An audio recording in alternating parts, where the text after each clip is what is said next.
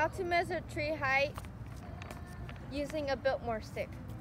Hello, my name is Candy and today I'm going to teach you how to use a Biltmore stick to measure logs of the tree height. And we need to do this because using the height and the diameter, which we learned in the last video, we can figure out the value of the tree from the volume. So, first thing you have to do is stand on the base of the tree and measure out 66 feet your pace. And for everyone, it might be different, but my pacing is 14 and a half every other feet. So it's one,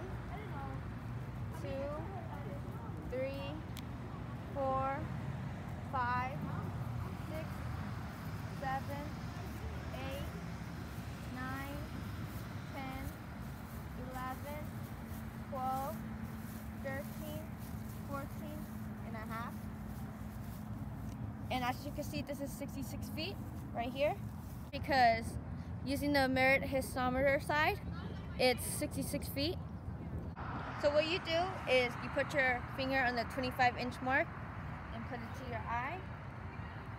So you flip it and keep the the Biltmore stick straight.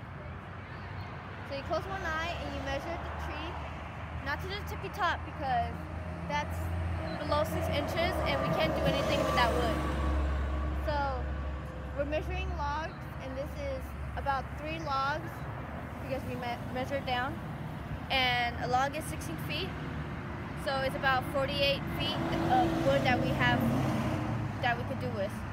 If the tree is bigger than the stick then what we do is that we walk half a chain of more to 99 feet so we could see how much logs that is. And for that we will use the right side, which is, as you can see, 99 feet. Thank you.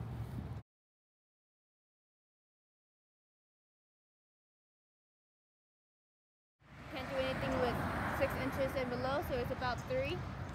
And a log is, so this is three logs and the log is 16 feet. So the tree is a little more than I forgot to do math.